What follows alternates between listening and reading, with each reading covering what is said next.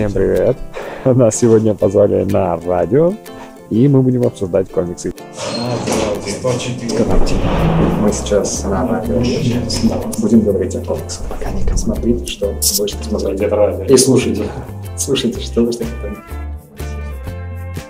Добирались сюда пешком на 18 Как назло. Лист не работает, поэтому пешком. И сейчас уже все нормально.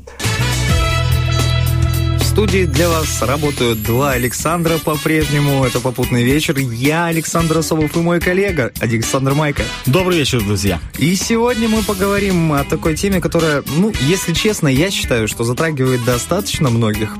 Если уж не хотя бы сами комиксы, которые мы сегодня будем обсуждать, то фильмы по ним смотрели практически все. А тема довольно интересная и довольно глубокая. Сегодня в студии.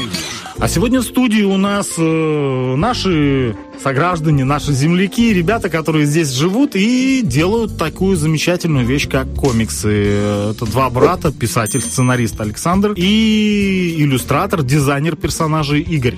Добрый вечер, ребят. Привет, привет. Э, В общем-то, хочется поговорить много о чем, но в первую очередь э, о вас. Потому что, ну, как бы про комиксы кто-то что-то понаслышке знает. Э, Меня больше радует э, э, то, что у нас здесь есть люди, которые вот этим занимаются. Это до- достаточно продвинутое искусство, я считаю. А, Но вы-то им не первый день занимаетесь. Скажите, с чего вы начали? Почему вы решили вот... Почему делать? решились на такой поступок? Совершенно верно. А, ну, наверное, первая попытка была еще в детстве, когда просто любили делать мультфильмы. А, мы смотрели их, Игорь рисовал их а, постоянно, и вот оттуда пошла любовь что-то рисовать. И у нас была такая любовь к мультфильмам, мы что-то хотели сделать, какой-то мультик.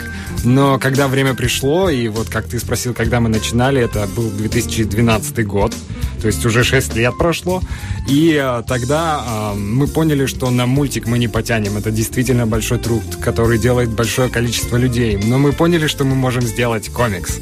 А это такие застывшие кадры, те же кадры мультфильма, и мы можем сделать это все правильно. Мы думали, вот, три месяца, и все получится. Прошло 6 лет. А, вот таким образом. И все получилось.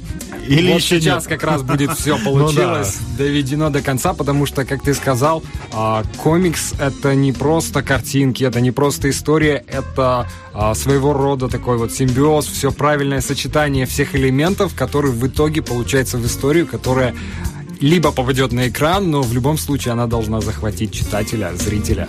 По-моему, все, кто делает комиксы, думают о том, чтобы она попала на экран. Да. Мой комикс сниму. А вы тоже хотите? Нет, у нас скорее была цель рассказать крутую историю. Мы О хотим, чем? чтобы сделали мультфильм. О чем расскаж- рассказывает ваша крутая история? А, В чем соль? Скажи, наверное, как называется наш комикс. Да, Наш- комикс называется «Счастливого конца света». Все такие испугались, что, что И это все такие комикс? думаю, как вы счастливый Но это конец комедийная света? О чем речь? Почему комедийный? Почему такое название? А просто в 2012 году был ажиотаж по поводу конца света, все запасались гречкой и прочим. и Да, прочим. мне кажется, Нам же э, обещали Майя, что Майя, будет Не, да. конец я, света. я не знаю, ребят. У меня одно время даже висел возле рабочего стола э, список концов света, там по Да, годам, по на- датам, на все самом прям деле- на, на 15 лет вперед было расписано. В Википедии там целый список всяких концов света и так далее, и так далее. И тех, которые уже были, Да. и еще будут. Но нам, нас именно... Вот, видите, это действительно смешная тема, поэтому нам показалось, раз люди, людей так это держит, то это понравится им. И причем показать не весь страх, ужас, который нам любят показывать. Вот, все, вы обречены, все будет плохо. А показать именно с а, такой Забавно, комедийной точки зрения. Потому что нас а, удивила реакция людей. Все, это было преддверие Нового года, и все ждали больше конца света, чем Нового года.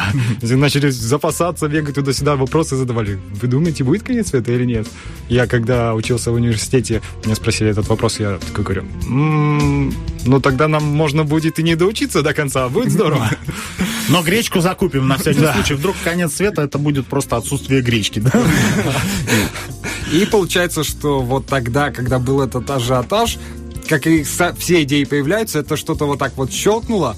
И в данном случае щелкнуло, просто Игорь увидел картинку, которая на английском называлась Doomsday. А Это в переводе значит конец света. И, и ему показалось, что Doomsday звучит как birthday, день рождения. И он подумал, так, конец света происходит не так уж часто, не так часто, как написано в Википедии. А что, если он будет раз в год? А потом, а что, если он будет раз в неделю? И, И каждый раз разный? И каждый раз разный. Вот так и родилась идея, чтобы в нашем комиксе концы света происходили раз в неделю с участием разных монстров. Да, И мы уже от этого начали отталкиваться и придумывать сценарий. Вот расскажите, какие могут быть концы света, какие у вас там уже придуманы? Это э, метеорит падающий или всемирный потоп, или какие виды концов света вы воплотили в рисунке? А, ну, мы начали историю с совсем знакомых зомби, чтобы люди не были а сразу шокированы. зомби-апокалипсис, это, конечно, уже все привыкли, никто А, не боится. Да, но У каждого тесак припасен. Под, под подушкой инструкция, как И дробовик. Так вот, и И у нас... это, кстати, высмеиваем. Да, мы высмеиваем, как люди вот так вот не знают, как каждый раз они видят зомби во всех фильмах и не знают, что делать, хотя все видели эти фильмы про других Да, зомби. это, кстати, довольно смешно. Инструкция довольно пошаговая. Все знают, что 30 как делать. есть. Да, и вот мы пытаемся это высмеивать. Также у нас есть а, нападение гигантской креветки на водолазов. А, вот там такая вот А можно, узнать, вы это подчерпнули откуда-то из известных концов света, или это уже ваша разработка? Нет, мы, естественно, хотели дать какие-то такие забавные моменты. И вот там два водолаза в воде из воды вынырнули и смотрят на гигантскую креветку, такую большую, и один из них говорит, я не знал, что можно на- намочить непромокаемый костюм. И вот они такие в воде. И а, получается, там есть и шутка с 3D, что монстр вылазит из 3D экрана, и ребята думают, что это 3D. Есть шутка, где парень на лыжах, и его там ядерные испарения из воды вылазят. В общем, мы просто пытались как-то по, по- фантазировать на эту да. тему и Мы даже, всякие штуки. Дед Мороза, Санта-Клауса представили в несколько иной ипостаси, что это Да. довольно такой монстр. Мы его назвали Мраглин. Это что касается новых персонажей. А, мы его назвали Мраглин. А, и он хоть и выглядит как Дед Мороз, привычно нам с мешком ходит, но все-таки он жуткое существо. Ну, идеи такие... Санта-Крампус, если я правильно на- название вспомнил, есть такой персонаж в американской культуре. есть Крампус, а у них... Есть в Футураме еще робот Дед Мороз. Да, да, да, потрясающе. тоже. Человек Футурамы. А, получается, Футурама, кстати, один из источников нашего вдохновения. Потрясающий мультик, особенно первые вот сезоны были. И, э, но наш, э, в отличие от Крампуса, у нашего такие большие щупальца, то есть он пролазит в трубу. у Если все задумываются, как он попадает в трубу, то он беспозвоночник, поэтому он легко Ага, вот, вот Ларчик-то просто открывался. Друзья, вот вы больше слышите Александра. А Александр, я напомню, это писатель, сценарист, человек, который сочиняет сюжеты. Поэтому мы слышим сейчас, его да. больше. Больше его слышим. А вот его брат почему-то молчит. Игорь, а, можно спросить, э, как рождаются персонажи? У вас есть три часа эфира? Да, а мы будем ждать, пока Игорь ответ даст.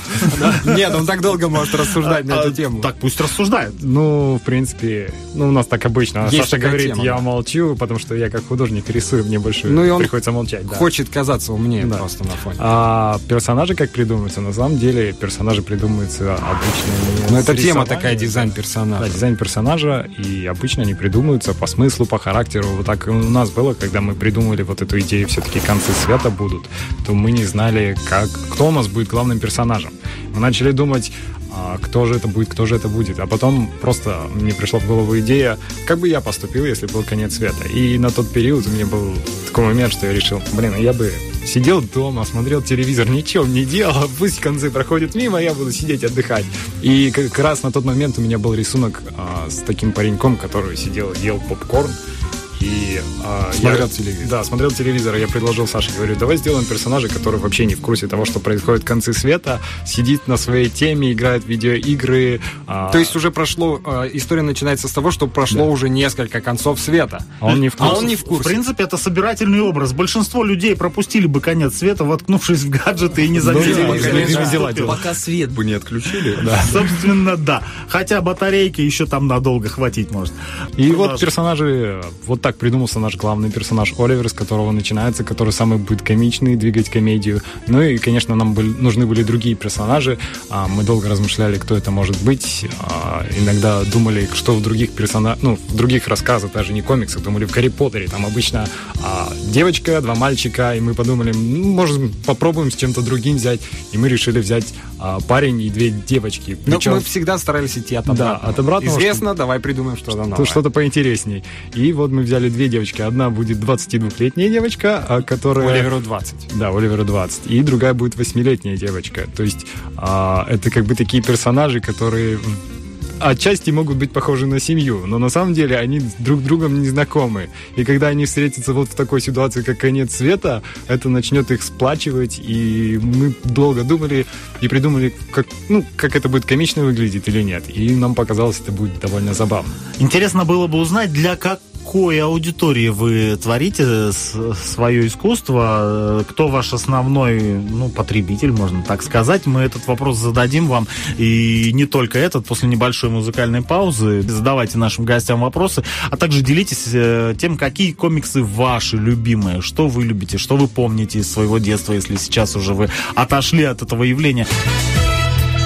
Вот у нас как-то вот мое мнение, может быть, первичное и поверхностное, что э, комиксами интересуется мало людей. Но ну, когда начинаешь общаться с людьми на эту тему, то тут всплывают, собственно, их потаенные интересы. Очень многие мои знакомые, о которых я не подозревал даже, что вот они комиксами интересуются, являются ярыми их фанатами.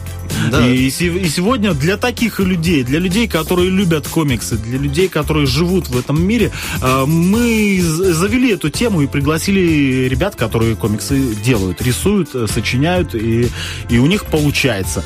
Э, напоминаю, у нас Александр и Игорь Зиненко в эфире, в студии, и мы с ними продолжаем общаться. Вот, собственно, ребят, я и хотел спросить, какая ваша целевая аудитория? Для кого вы делаете свой комикс? Честно, Давай с возраста начнем. С возраста? Подростки, я думаю. От и до. Ну, на нашем комиксе будет стоять отметка 12+. То есть это что... минимальный возрастной порог? Да, то есть это минимальный. А, а дальше... Максимальные у комиксов нет, поверь мне. Ну, это, видишь, зависит от темы. Да, но мы, мы старались сделать тему приемлемо интересный человеку. Мы не, мы не пытались сделать ее такой, о, давай держимся в этом, вот в этом вот таком радиусе возрастном, чтобы вот конкретно на эту аудиторию. Мне кажется, мы делали Это историю... больше работа маркетологов. Да, да, да. Они хотели, ну, и, и у нас такой подход просто, мы хотим рассказать историю. А, нам понравилась идея, мы хотим ее рассказать, чтобы люди ее оценили и где-то поняли юмор, потому что, не знаю, заметили вы, но история будет рассказана все-таки на нескольких уровнях. И если все-таки а, там будут монстры, то в каком-то роде они будут отображать проблемы самих персонажей. То есть это будут, может, где-то их страхи, где-то какие-то проблемы, которые им надо решить. То есть такая задача не просто монстр, с которого надо победить, а вот именно проблема, которая может быть жизненная. Подтекст. Да, и, подтекст будет я, я, может быть, не, не буду говорить за всех, но наверняка часть наших слушателей скажет, вау, у нас кто-то даже комиксы делает, ничего себе. А где можно посмотреть, спрашивает наш слушатель, и что вы ему ответите? Сам, на самом деле нас очень много в соцсетях. А почему говорим много? Потому что мы есть ВКонтакте. Заводите комик счастливого конца света ВКонтакте. А я просто сейчас начну называть ссылку, она будет на английском, и вы не запомните. Просто, просто говорите, заходите... какие слова в поисковик вбивать и в какой. Комик счастливого конца света. Заводите в Google, вам вы, выдаст и YouTube, и э, ВКонтакте мы есть, в Фейсбуке есть, в Твиттере есть, пожалуйста. YouTube, а почему? Что, вы уже э, вышли как бы в, в анимацию, в форму а, мультипликации? Или нет, что там? А, в, на YouTube да. А, мы сейчас там чуть-чуть переназвались, мы там называемся «Комикс-братья», а, потому что... Потому что вы братья. Да, и мы, решили, мы, мы долго думали, как назвать это себя. Дедукция, это дедукция. Да, как назвать себя, и решили «Комикс-братья», это броско и запоминающееся. И решили и... сделать в форме блога такого, видеоблога, где мы рассказываем о том, как мы это делали, а от начала, как нам пришла идея и так далее. И так далее. У нас 6 лет опыта, поэтому нам есть что рассказать. Ну, вообще считается правило 10 тысяч часов. Если ты занимаешься чем-то 10 тысяч часов, ты уже можешь называть себя профессионалом мало. Так надо Не считать. надо доставать калькулятор и будем считать, что 6 лет это практически высшее образование. Э, ребят, что могут увидеть? То есть вы сказали, что у вас там э, обучающие видео, да? То есть да. сейчас, если кто-то интересуется, как делать комиксы, кто-то тоже хочет, может быть, и стесняется или не знает, куда сунуться, можно э, зайти на ваш YouTube канал и что там будет? А, ну, во-первых, мы начинаем с самого начала, то есть как мы рассказываем, как у нас появилась идея. А, как мы начали работать над сценарием, а, как, что такое раскадровка, потому что комикс подразумевает раскадровку. И постепенно-постепенно мы будем наполнять канал тем, как мы шли этот путь. То есть мы не просто будем рассказывать, как это можно сделать, мы будем, Игорь будет показывать, как он рисует, какие-то давать советы, потому что когда вот этот весь путь был, мы проходили, мы сначала думали так, потом наше мнение менялось в другую сторону, в третью, и вот эти ошибки, которые мы совершали, мы хотим рассказать, рассказать, да, да. о них рассказать, чтобы люди могли их избежать и где-то сократить себе время. И таким образом мы будем доходить до этапа, до, наверное, конкретного сейчас этапа, когда мы хотим опубликоваться, а, каких нам проблем стоит найти это, все правильно оформить, потому что комикс, а, как ты говорил, явление такое кажется редким, но не без причины, потому что довольно тяжело в денежном плане запустить комиксы. И почему это выигрывает и когда это выигрывает? Когда это действительно выходит на, уровне, на уровень бизнеса, на уровень фильмов. Это похвально, что вы замахнулись вот так вот высоко, и я, я уверен, что у вас получится. Хочется спросить... э, Хочется спросить, ребята, а вот здесь, для нашего приднестровского потребителя, э, пытались вы э, свой- свое творчество представить? И в, какой, в каком виде это? И получилось ли? А свое творчество в целом или комикс ты имеешь Может быть, э, ну, самый банальный вопрос, пытались ли вы у нас издаться? пытались мы у нас, скажем так, мы узнаем сейчас цены на то, чтобы напечататься здесь. И э, многое зависит от цены, потому что это такой довольно конкурентный рынок, и ну не в том даже может плане, что кто-то там дороже, дешевле, просто человек не может себе позволить определенную сумму на комикс, потому что принято считать, что это ниша для подростков. Да, нет. Просто даже если сравнить, э, почему комиксы не сильно так э, развиваются в России, допустим, даже, потому что самому напечатать э, комикс довольно затратно. И продавать его по цене, которой его купят другие, тоже довольно проблемно, Ты не знаешь, что... выгорит это или нет. Да, проблемно, потому что придя в магазин, ты посмотришь, а, я куплю комикс какой-то русский, который там черно-белый, потому что в основном черно-белый, потому что цветная печать затратная. Либо я куплю комикс Марвела, который пропиаренный, который- Цветной, глянцевый. Да. Причем за ту же цену. Да, за ту же цену Потому что они могут себе печатать, позволить гром- громадный тираж. А и тут ты думаешь, а, ну как бы это правильнее сделать. И тут уже ищешь способы. Тут даже еще другая проблема, опять же упомянута э, проблема того, что это считается, что ниша для подростков, и люди предпочтут потратить те же деньги на книгу без картинок, чем попытаться даже понять, что комикс это действительно вид искусства. И у меня вот поэтому к вам вопрос. Просто если я начну это рассказывать, я довольно часто об этом рассказываю в эфире, давайте вы расскажете, что это достаточно большой бизнес, есть, есть э, кино, о, есть повести, есть целые графические романы, и что это огромная возрастная аудитория, целевая аудитория, действительно до, сам, до самого верха. Ну, а, если коротко, да- даже вот веб-комиксы на самом деле уже как-то выходят на отдельную ступень, потому что вроде как веб-комиксы, мы знаем, это комиксы в интернете, но на самом деле некоторые комиксы, которые, ну, казалось бы, не заслуживают внимания, это палка-палка огуречек, наб- набирают ежемесячно, могут зарабатывать по штуке, две штуки баксов. То есть, если в правильном месте сунуться, то можно заработать очень хорошо. И все дело в аудитории. А, и, как ты сказал, ам, что действительно большой как, радиус, вознос- возрастной радиус, то это правда. А, но почему у нас не принято, потому что еще нет традиции. Еще мы не привыкли к комиксам и видим их в основном, как вначале говорилось, только на экране. В Америке же, когда вот эта традиция уже, там уже и, и взрослый, и малый, и в общем, да, любые читают комиксы, как, как у нас. Ну, Просто, э, если честно, многие из наших слушателей, допустим, представления не имеют, что многие из фильмов, которые серьезные, которые им нравятся, они изначально были комиксами. Это не обязательно. Комикс это не обязательно про супер, это супергероика. Ну, по, по большинству Согласен. своем, да, но э, Ну вот в пример, в пример, как не супергеройка, на ум первое приходит «Я убиваю гигантов». То есть это Или такой Скотт Пилигрим. Скотт Пилигрим. Да. А, то есть э, это такие ну, а- довольно... антиутопия Син Сити, это тоже по комиксу, Да, в принципе. для конкретной аудитории. А, что я хотел сказать по поводу аудитории? А, Да, забыл. Да, да, отлично. Ну и хорошо, ребят, а, давайте, пока вы забыли, я, я воспользуюсь моментом. И, э, вот, э, у меня в руках сейчас э, замечательная, ярчайшая книжка, и не одна вы принесли а, показать мне. Скажите, пожалуйста, что это за книги? Но это книги, не просто книги, это комиксы. Журналом это уже не назовешь. Это твердая обложка, это, Это тот шикарная полиграфия.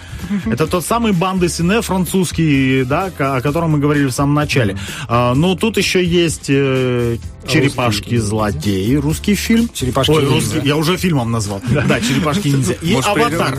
А, Почему вы Аватар, принесли... легенда о Банге, чтобы все не подумали. Во-первых, откуда это у вас? У нас я такого в продаже не видел. у нас еще есть. Да, у нас есть еще охотники за привидениями.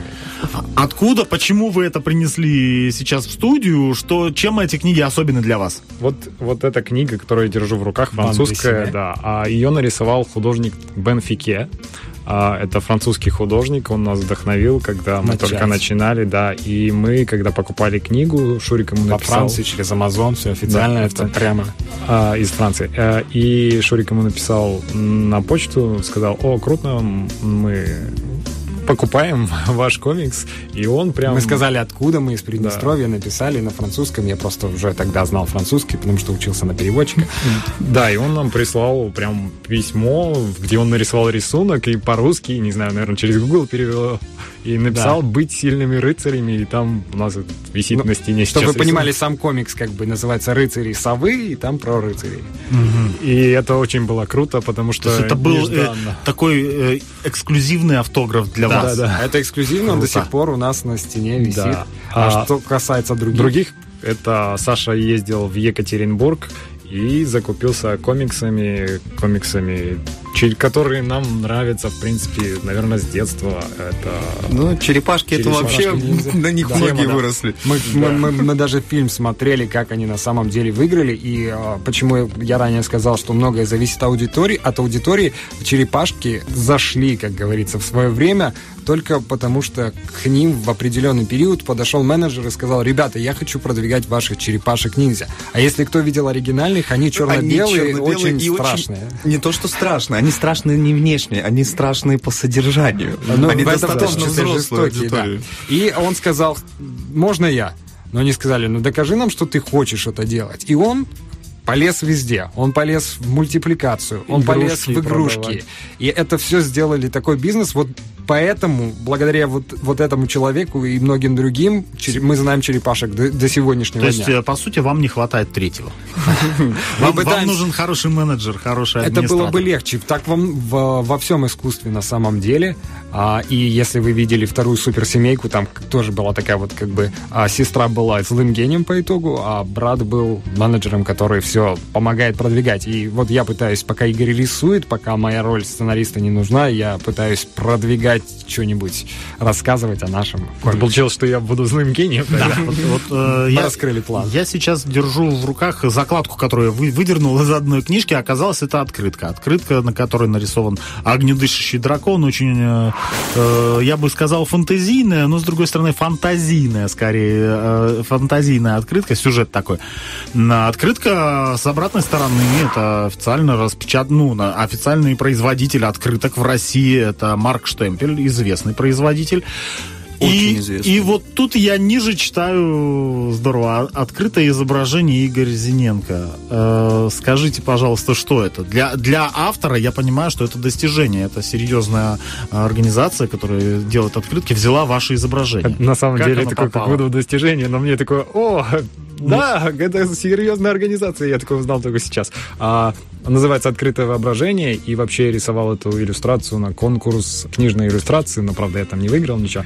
Но ко мне Нужно было постер да, нарисовать, книжный. а, девушка и сказала, мы хотим напечатать Нам понравилась ваша работа, и мы хотим напечатать на напечатать. открытках. И это, получается, не просто там дракон, а, книга. Это сюжет, Это да, конкурсная работа. сюжет, да, книжный То сюжет. тоже с Это- подтекстом. Да, дракон из Хоббита, тут связано с книгами. Дракон из Хоббита, рыцари, такие рыцарские приключения, кролик из Алисы, Ну, приключения Жюль По сути, по такое сути, такое. а открытка показывает, что ты открываешь книгу, ты открываешь целый мир. Да, и да, не история. один, Вот очень много. открытое воображение. Да, это, это, это здорово. Скажите, э, уходим из творческой в, в прагматичную плоскость.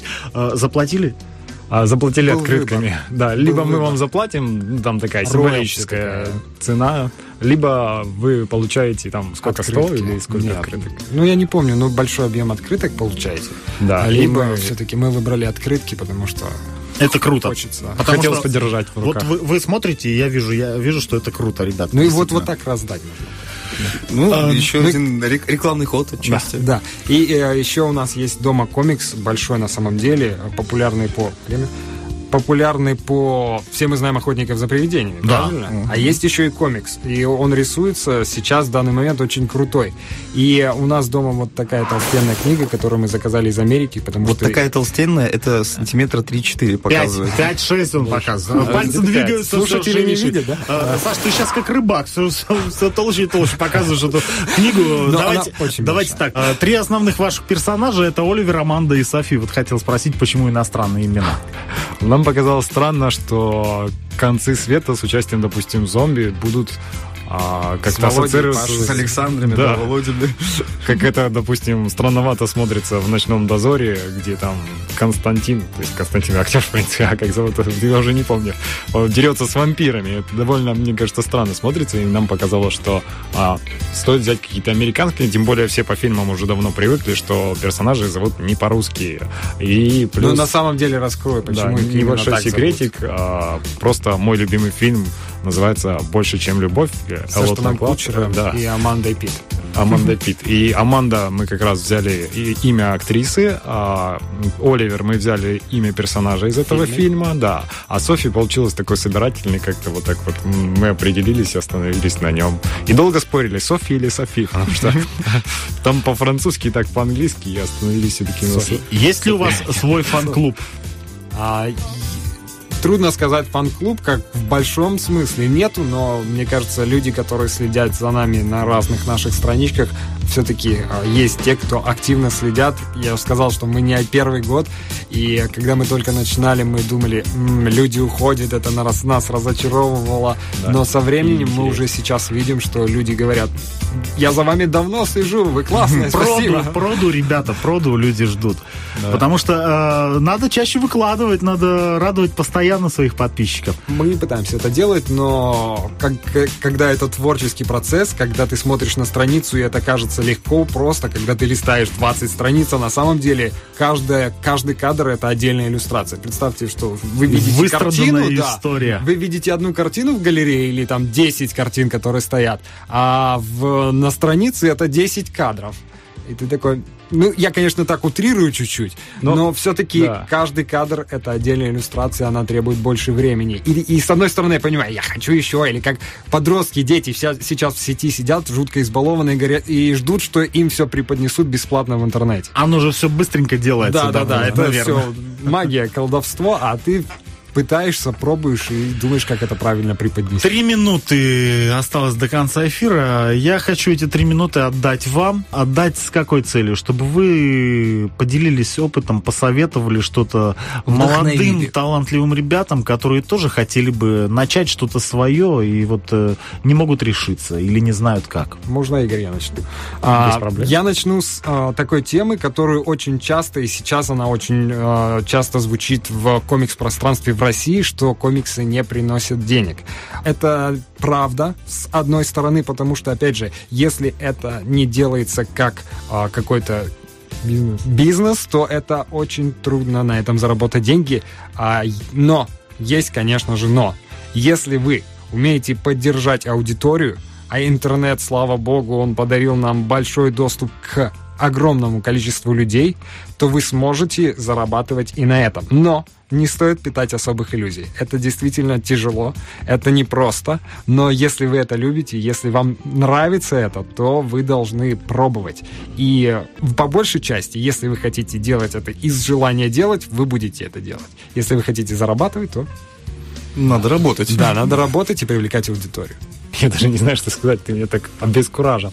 А на самом деле, если вы хотите рисовать комиксы, вам нужно просто попробовать, но начинать с чего-то попроще, потому что все сложно начинается с чего-то маленького, и вы поймете, нравится вам это или нет, и а, продолжать или нет, потому что тут тоже важен опыт, А, и я думаю, в принципе, а, комиксами обычно занимаются люди, которым нравится либо придумывать истории, либо им нравится рисовать комиксы.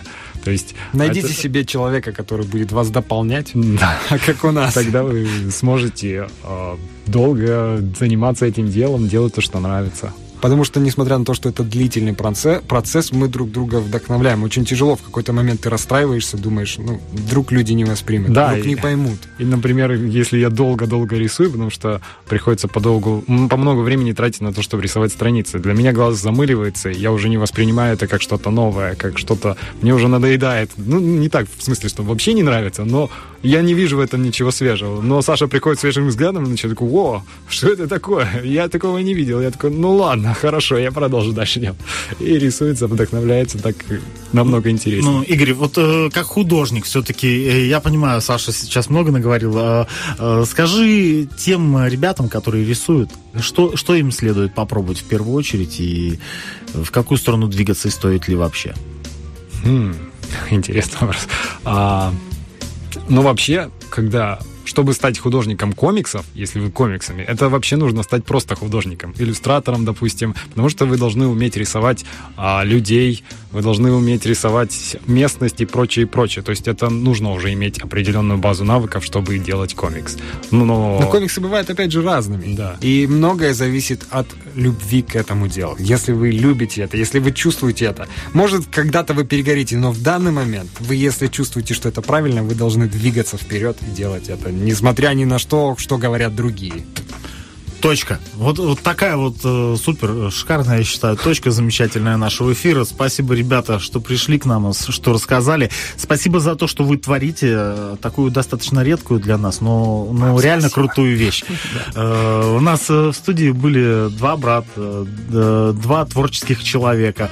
Александр и Игорь Зиненко. Ребят, спасибо вам большое. Ну и еще два Александра были у микрофонов. Это Спасибо вам, Александр, ребята, тоже. Александр Особов Двигайтесь к мечте. и Александр Майка.